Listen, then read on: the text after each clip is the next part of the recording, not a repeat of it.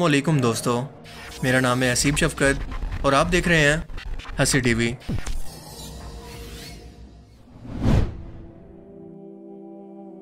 यहूदियत दुनिया का कदीम तरीन मज़हब है, जिसके मानने वाले तकरीबन चार हज़ार साल से आज तक मौजूद हैं और अपना रिश्ता खलीलुल्लाह यानी इब्राहिम सलाम से जोड़ते हैं।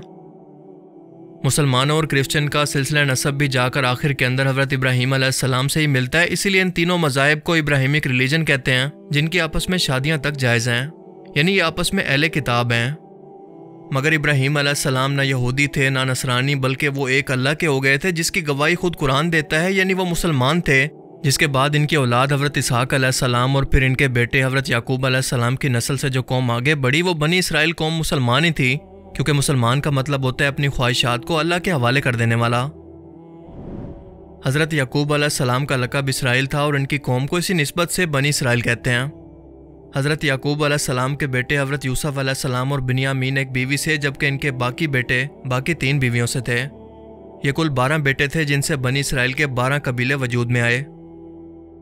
एक बेटे लावी बहुत ही नरम दिल और नेक थे, जिन्होंने बाकी तमाम भाइयों से लड़कर यूसुफ सलाम को कत्ल करने की बजाय इनकी जान बचाने के लिए इनको कुएँ में डालने का मशवरा दिया था।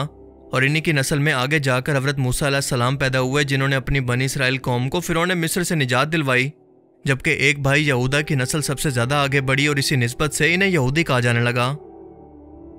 जब इस कौम की बदामालियाँ हद से बढ़ गई और ये जादू, सूद, फितना, फसाद के अंदर पड़ गए तो अल्लाह ने अपने रसूल हज़रत ईसा सलाम को नई शरीयत देकर इनके दरमियान भेजा जो कि खुद भी नस्लन यहूदी थे। मगर इन लोगों ने साजिशों से इन्हें सूली पर लटकाने की कोशिश की तो अल्लाह ने इन्हें ज़िंदा आसमानों पर उठा लिया। जबकि दूसरी तरफ़ हज़रत इब्राहिम के दूसरे बेटे जो कि आपकी बीवी हाजरा से पैदा हुए, यानी इसमाइल सलाम इनकी नस्ल से मोहम्मद रसूलुल्लाह सल्लल्लाहु अलैहि वसल्लम पैदा हुए और बिल्कुल यही वजह है कि यहूदी रसूलुल्लाह की रिसालत का इनकार इसलिए भी करते हैं कि वो नबियों के सिलसिला नसब, यानी इसहाक सलाम की नस्ल से नहीं, बल्कि इस्माइल सलाम की नस्ल से हैं। हालाँकि अल्लाह ने नबूत के लिए ऐसा कोई वादा नहीं किया था, बल्कि इस्माइल सलाम की कुर्बानी के बदले जो कि वो अल्लाह की रजा की खातिर अपनी खुद की जान की कुर्बानी देने के लिए छुरी के नीचे लेट गए थे तो अल्लाह ने खुश होकर यह प्रोटोकॉल आखिरी उम्मत के लिए खास तौर पर संभाल कर रखा। कि आपकी नस्ल से कोई और रसूल नहीं, बल्कि मोहम्मद वसल्लम अरब में तशरीफ़ लाए। दुनिया में इस वक्त डेढ़ करोड़ के करीब यहूदी मौजूद हैं और ये सब बारह कबीले बनी इसराइल, यानी यकूब सलाम की औलाद ही हैं, जिनमें गैर यहूदी भी टाइम टू टाइम इस मज़हब को कबूल करके मिक्स हो चुके हैं। क्या आप जानते हैं कि यकूब सलाम के सबसे प्यारे बेटे, यानी यूसुफ सलाम की नस्ल इस वक्त कहाँ पर मौजूद है? तारीखी हवालों से तो हम इसे कंफर्म नहीं कर सकते, लेकिन अगर आज के मौजूदा दावों की बात करें तो यूसुफ सलाम की नस्ल से होने का दावा करने वाले लोग आज इसराइल के अंदर सिर्फ़ 800 लोगों की अकलीत के अंदर मौजूद है, जबकि इनकी ज़्यादा तादाद मुल्क शाम के अंदर मौजूद है, जहाँ पर यकूब सलाम और इनके आबा वजदाद रहा करते थे। ये खुद को सामरिया फिरका कहते हैं। इनके मुताबिक ये ख़ानदान हज़रत याकूब सलाम के बेटे लावी और हज़रत यूसुफ सलाम के दो बेटों मनसी और इफ्राहिम की नस्ल से हैं। इसके पैरोकारों का एक बड़ा हिस्सा मगरबी किनारे के शहर नाबलस, खास तौर पर जबल जरजीम के अंदर रहता है। इस अकलीत में शामिल लोगों के पास तीन पासपोर्ट होते हैं, जिनके अंदर फ़लस्तीनी, उर्दन और इसराइली पासपोर्ट शामिल हैं। ये लोग यहूदी मज़हब के पैरोकारों की तरह बैतुलमुक़दस को अपना किबला तक नहीं मानते और बाकी यहूदी इनको अपना फ़िरका नहीं मानते। इस फ़िरके के लोग फ़लस्तीनी लहजे के अंदर अरबी ज़बान के अलावा इब्रानी ज़बान भी बोलते हैं। सामरिया फ़िरके के मुताबिक सिर्फ़ इनकी तुरात सही है, जबकि बाकी तमाम तुरात या बाकी तमाम फ़िरकों की तुरात के अंदर किसी न किसी तरह से मिलावट हो चुकी है। ये लोग अपने फ़िरके के बाहर शादी नहीं करते और सिर्फ़ सामरियों के हाथ का ही जबिया खाते हैं। सामरिया फ़िरके के लोग फ़लस्तीनी माशरे के अंदर मिलजुल कर रहते हैं और आम स्कूलों के अंदर तालीम भी हासिल करते हैं। ये खुद को तुरात का हकीकी मुहाफ़ करार देते हुए तुरात के त्यौहारों को भी मनाते हैं, जिनकी तादाद सात है। इनके नाम है अल्फसा अलफतीर अलहिसाद, नया इब्रानी साल, अलगफरान अल अर्श और फ़रातुल तौरात। लेकिन यहूदियत में ये कोई अकेला फ़िरका नहीं है, बल्कि मुसलमानों और क्रिश्चियन की तरह इनके अंदर भी बेतहाशा फ़िरके मौजूद हैं, तकसीम दर तकसीम, जिन्हें समझना आसान नहीं है। लिहाजा इसे सिंपल और टू दी पॉइंट हम दो कैटेगरीज के अंदर जानेंगे, एक तो नस्ली और इलाकों के अंदर रहने के हिसाब से और दूसरा इनके अकीदों के हिसाब से। यहूदियों की 95 परसेंट आबादी तीन बड़े ग्रोहों पर मुश्तमिल है और सबसे बड़े और ताकतवर ग्रोह को कहते हैं इसका नाजी ज्यूस। बुद्ध परस्त रोमन हुकूमत के दौर के अंदर इनके जुल्म सितम से तंग आकर यहूदी यूरोप के मुख्तलिफ़ मुल्कों के अंदर हिजरत करके आबाद हो गए, खासतौर पर जर्मनी, फ्रांस और बरतानिया वगैरह के अंदर।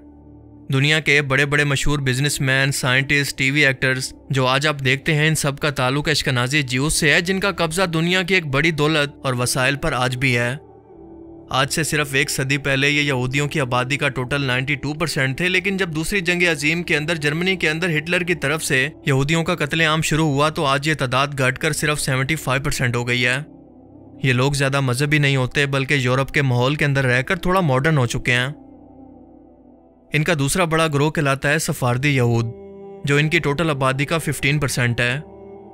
ये लोग स्पेन और पुर्तगाल मुल्क के अंदर आबाद थे, लेकिन जब एक क्रिश्चियन मलका अलिजबेला ने स्पेन पर कब्जा कर लिया तो मुसलमानों और यहूदियों को इसने हुक्म दिया कि ये ज़बरदस्ती ईसाइत कबूल कर लें, वरना यहाँ से निकल जाएँ।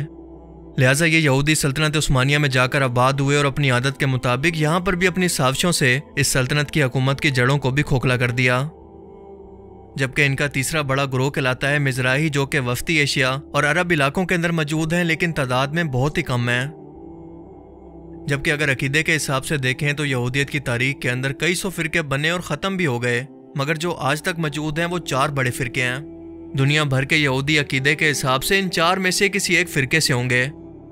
पहले फिरके को कहते हैं हरीदी, जो कटर मजहबी और आर्थोडॉक्स होते हैं और ये खुद को खालिश यहूदी कहते हैं, जिनके अंदर कोई मज़हब बदल कर नहीं आया, बल्कि नस्ल दर नस्ल आखिरी सिलसिले तक यहूदी ही है। यही वजह है कि ये लोग सिर्फ़ आपस के अंदर शादियाँ करते हैं, इससे बाहर नहीं। ये लोग टीवी, इंटरनेट और दूसरी जदीद टेक्नोलॉजी से भी दूर रहते हैं। रियासत यानी फौज और हुकूमत से इनका कोई लेना देना नहीं और ना ही ये इनके अकीदे में शामिल है, बल्कि ये अपनी इबादत और तबलीग के अंदर मसरूफ रहते हैं और ख़ास किस्म का लिबास पहनते हैं जो कि इनकी पहचान है। दूसरा फ़िरका है जाइनिस्ट या जाइनिज़म ये लोग मज़हब और कौम परस्त होने के साथ साथ थोड़े से मॉडर्न होते हैं, जो कि दीन के साथ साथ दुनिया यानी मुल्क और फौज को भी बिल्कुल मज़हब की तरह ही अहम मानते हैं। और यही यहूदी फ़िरका आज इसराइल के अंदर भी फसाद की जड़ और साजिशों का मरकज़ है। दुनिया के बड़े बड़े अहदों और वसाइल पर इन्हीं लोगों का कंट्रोल है और ये पूरी दुनिया के यहूदियों को इसराइल के अंदर लाकर आबाद करके एक बार फिर से ग्रेटर इसराइल को बनाना चाहते हैं। यही वो लोग हैं जो कि कबाला नामी काले जादू से शैतान से डायरेक्ट रबते के अंदर रहते हैं। तीसरा फिरका है मसोर्टी जो कि तकरीबन कुल आबादी का तीस परसेंट है। ये फ़िरका वैसे तो मजहबी है, मगर पूरी तरह से नहीं। इसीलिए अपनी तालीमत और अकायद के अंदर ये टाइम टू टाइम बदलाव करते रहते हैं। ये मॉडर्न दौर के मुताबिक अपने कानून भी बनाते हैं और फ़िरके से बाहर शादियाँ भी करते हैं। ये लोग अपने मजहबी त्यौहार और रिवायत को भी मनाते हैं, मगर सिर्फ़ खास मौक़ों पर ही अपने मजहबी लिबास के अंदर नज़र आते हैं, क्योंकि बाकी टाइम के अंदर ये आम लोगों की तरह बिल्कुल मॉडर्न लिबास के अंदर ही रहते हैं। इसके बाद चौथे नंबर पर आबादी के अतबार से मजहबी तौर पर सबसे बड़े फिरके का नाम है हलोनिम। ये लोग बहुत ही मॉडर्न होते हैं और सिर्फ़ खास किस्म के त्यौहारों को ही मनाते हैं। ये लोग मज़हब से ज़्यादा कौम पर ध्यान देते हैं और इसीलिए गैर मज़हब के अंदर शादियाँ भी कर लेते हैं। इसके बाद पांचवा फिरका है सामरी। ये सामरी जादूगर नहीं, बल्कि सामरी नाम के किसी शख्स पर बना हुआ है। और इस फिरके का ज़िक्र हम ऊपर वीडियो में पहले ही कर चुके हैं। बाकी यहूदियों के तमाम फिरके इनको अपना फिरका मानते ही नहीं हैं। जबकि इसके अलावा कई छोटे बड़े फिरके यहूदियत के अंदर मौजूद हैं, जिनमें से तो कोई साइंस पर यकीन नहीं रखता तो कोई टेक्नोलॉजी पर और कोई तो खुदा के वजूद से इनकारी है। लेकिन वो क्योंकि इंतहाई कम तादाद के अंदर हैं तो इनका ज़िक्र करना यहाँ पर ज़रूरी नहीं। मुझे उम्मीद है कि आज की इस वीडियो से आपको बहुत कुछ नया जानने को मिला होगा। अगर आप इसी तरह से क्रिश्चियन और मुसलमानों के फ़िरकों के बारे में भी एक अलग वीडियो के अंदर जानना चाहते हैं तो मुझे कमेंट करके ज़रूर बताएँ। अब मैं मिलूँगा आपसे एक ऐसी ही नई इंटरेस्टिंग वीडियो में। तब तक के लिए अपना बहुत सा ख्याल रखिएगा। Thanks for watching this video अल्लाह हाफिज़।